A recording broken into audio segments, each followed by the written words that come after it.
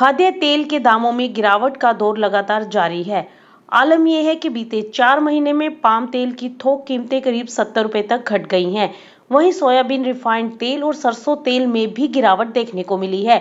कारोबारियों का कहना है कि अक्षय तृतीया तीन मई को खाद्य तेलों के दाम अपने रिकॉर्ड स्तर पर थे। तब से लेकर अब तक लगातार इनमें गिरावट बनी हुई है। दरअसल रूस यूक्रेन युद्ध के कारण अंतर्राष्ट्रीय बाज़ार में बने हालात और इंडोनेशिया द्वारा निर्यात रोक देने के चलते कीमतों में तेज़ी से बढ़ोतरी देखने को मिली थी। आपको बता दें कि पाम ऑयल, मलेशिया, इंडोनेशिया और soya oil, Brazil, Chicago, Argentina से आता है। वहाँ पर फ़िलहाल फ़सल अच्छी बताई जा रही है। अब तेल का आयात अधिक होने के कारण तेल के दामों में गिरावट देखने को मिल रही है। नया सोयाबीन पाँच हज़ार ग्यारह प्रति क्विंटल के भाव पर मंडियों में बिक रहा है।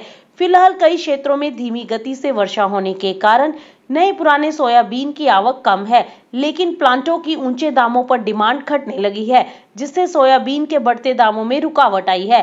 प्लांट खरीदी सोयाबीन साढ़े तिरपन सौ से साढ़े चौपन सौ रुपए प्रति क्विंटल के आसपास देखने को मिल रहा है।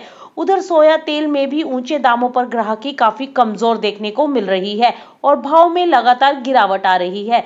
जानकारों का कहना है कि देश में नई फ़सल की आवक में देरी और पुराने सोयाबीन की आवक में धीमी होने से फ़िलहाल सोया तेल में ज़्यादा मंदी नहीं लग रही।